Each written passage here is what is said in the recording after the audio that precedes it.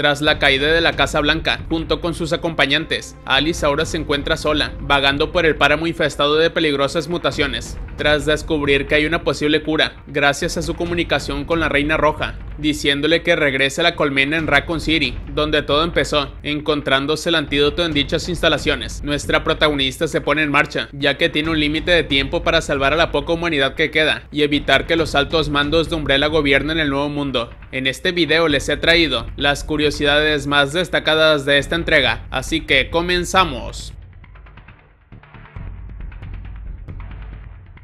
Al igual que con las películas anteriores de Resident Evil, el capítulo final recibió luz verde sin ningún plan concreto, de acuerdo con el estilo del guionista y director Paul Anderson, quien ha expresado su preocupación por las narrativas de varias partes que no se han resuelto, debido a cancelaciones prematuras de series. Cuando comenzó la preproducción, Constantine y Sony entendieron, pero no se comprometieron para un séptimo, posiblemente un octavo y luego un reinicio. El lanzamiento de la película se hizo para darle a Alice una conclusión, pero manteniéndose abierta la historia para una séptima y última entrega antes de que una octava reinicie la franquicia. Debido a que ambos tenían problemas de programación, la película se mantuvo en preproducción durante dos años, inicialmente planeado para un rodaje a principios de 2014, debido a que Anderson estaba trabajando en Pompeya. Después de unas vacaciones y una visita a Sudáfrica con el explorador de locaciones, se descubrió que Jovovich estaba embarazada y la película se retrasó aún más.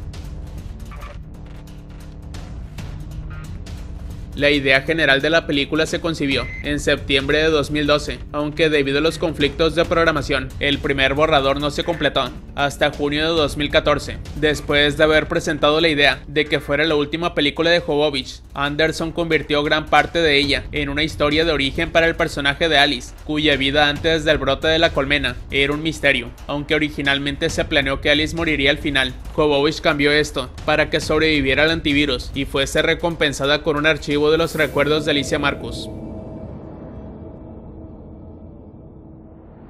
Debido al tiempo transcurrido entre la aprobación y el guion, existe mucha confusión en cuanto a cuáles eran los planes de casting desde el principio. A finales de 2013, Jovovich informó en su sitio web oficial que Michelle Rodríguez estaría en la película. Mientras tanto, la actriz Sienna Guillory no fue contactada para repetir su papel de Jill Valentine debido a un problema político entre China y Japón. La negativa de Lee Bingbing de asistir al estreno de Retribution en Tokio llevó a Sony a prohibir a Lee de volver a interpretar su papel de Ira Wong. En la versión final del guion, los personajes que regresaron fueron Alice de Jovovich, Claire Redfield de Ali Lertard, Alexander Isaacs de Ian Glenn, aunque siendo Isaacs diferentes a las películas anteriores, y Albert Wesker de Sean Roberts. El papel de Reina Roja se le dio a Ever Gabo Anderson, la morrilla de Jovovich y Anderson. Se ideó una variedad de nuevos personajes para la película. Entre ellos estaba John Ji Lee, un campeón de taekwondo de Corea del Sur, en el papel del comandante Chu.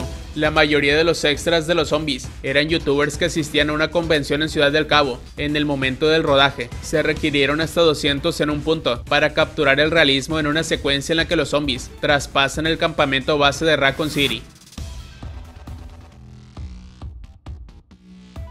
La fotografía principal comenzó el 18 de septiembre de 2015 y la mayoría de las tomas tuvieron lugar en Ciudad del Cabo, junto con sus alrededores, incluida Velar. Ever Gabo recibió inicialmente un papel ADR como la actriz de voz de la Reina Roja, pero el equipo de efectos especiales presionó para que apareciera en el set y fuera alterado digitalmente en la postproducción, en lugar de agregar un personaje CG más tradicional a la escena.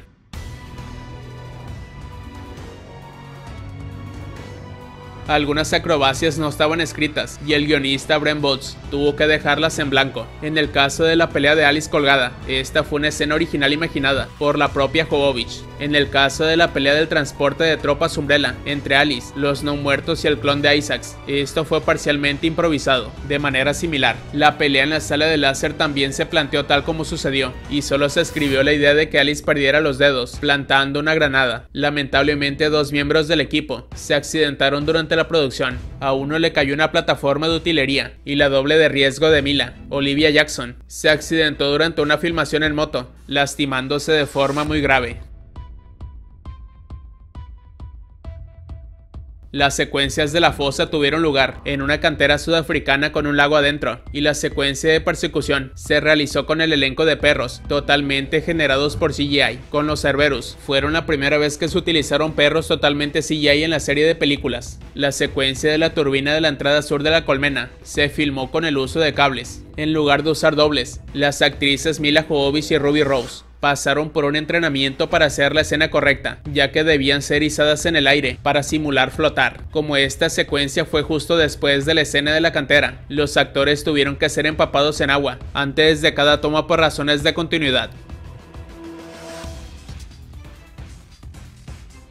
El arma biológica que mata a Razor y lucha contra Alice en la colmena es un Bloodshot de Resident Evil 6. El set de Killing Room Floor se usó el 3 de octubre y se requirió que uno de los dobles más altos disponibles en Sudáfrica asumiera el papel del Bloodshot. A pesar de esto, se encontró que era demasiado bajo y Jovovich y el equipo tuvieron que concentrarse en el lugar vacío sobre la cabeza del artista.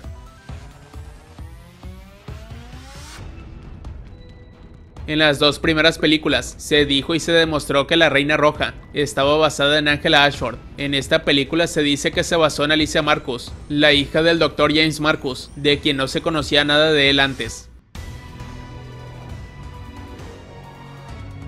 En las dos primeras películas, el brote en la colmena fue la primera fuente conocida de zombies del virus T, debido a las acciones de Spence y la Reina Roja. Sin embargo, en esta película, la creación de zombies fue un accidente, cuando un niño infectado con el virus murió y se reanimó, matando a los pasajeros de un vagón de altura. La Reina Roja dice que el brote de la colmena ocurrió hace una década. Sin embargo, como dijo Afterlife, el brote comenzó hace 4 años. A menos que hayan pasado 6 años desde Retribution, es probable que se trate de un descuido.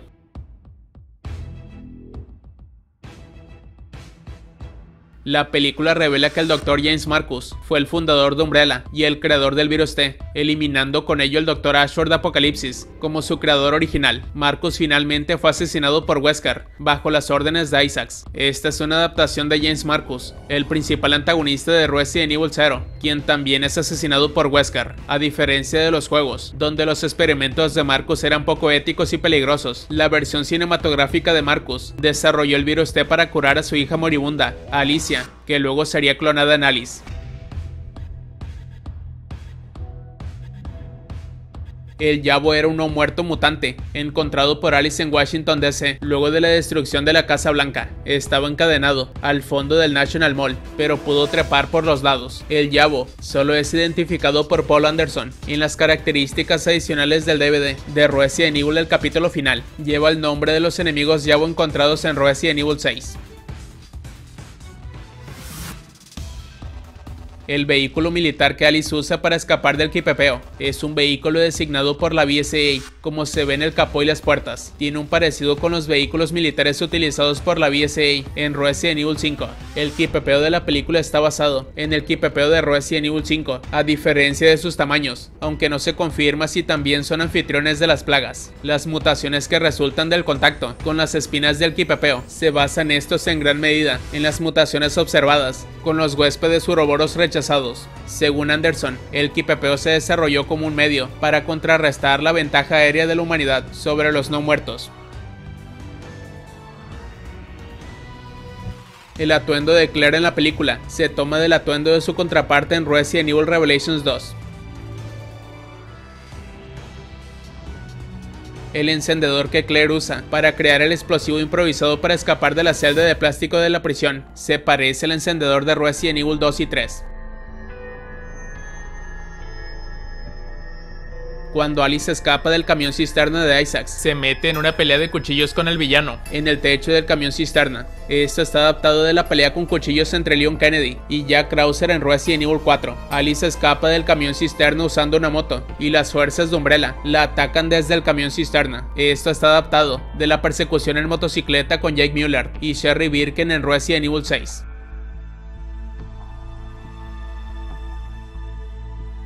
Cuando el grupo de Alice se infiltra en la colmena, Wesker inicia un protocolo para desatar una horda de Cerberus, lo que lleva al equipo a correr hacia la colmena. Los Cerberus detienen su persecución una vez que los sobrevivientes ingresan a las instalaciones de la colmena. Esto es una adaptación de la secuencia de apertura de Resident Evil, donde el equipo Star se encuentra con los perros Cerberus y deben correr hacia la mansión en busca de refugio, donde los perros dejan de perseguirlos.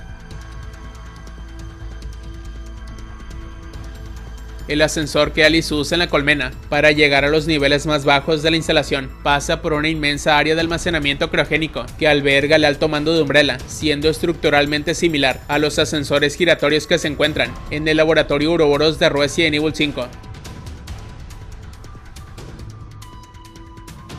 El papel de Doc en la película es similar al de Wesker en Resident Evil. Doc es el líder del grupo de supervivientes en Raccoon City, pero en realidad trabaja en secreto como informante de Umbrella. Alice deduce que él es el traidor. En Resident Evil, Wesker es el líder de los Stars, pero este en realidad estaba trabajando para Umbrella, poniéndoles una trampa a los Stars. Las pistas esparcidas por todo el juego revelan la asociación de Wesker con Umbrella,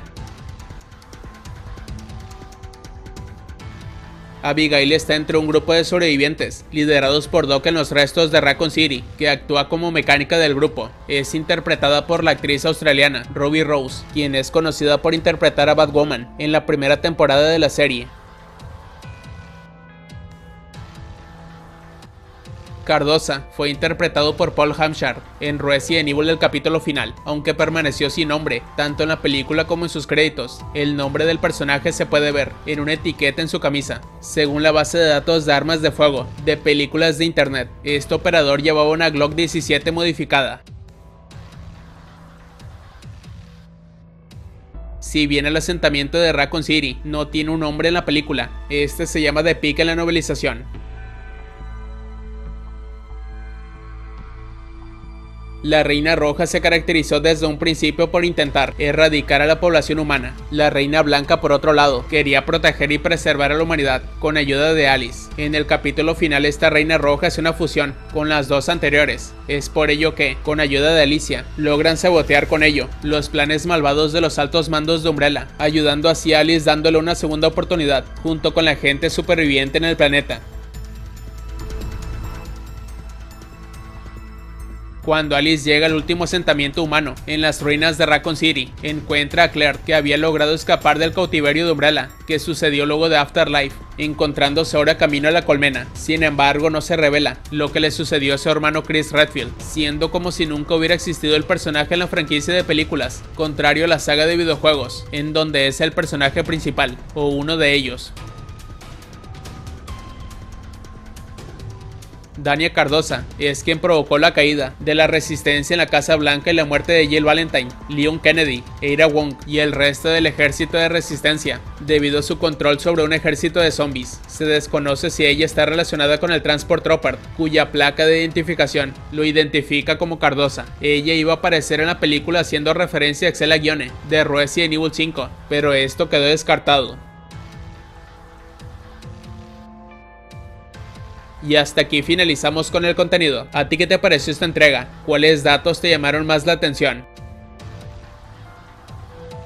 Si el video te gustó, dale like y suscríbete. Nos vemos hasta la próxima.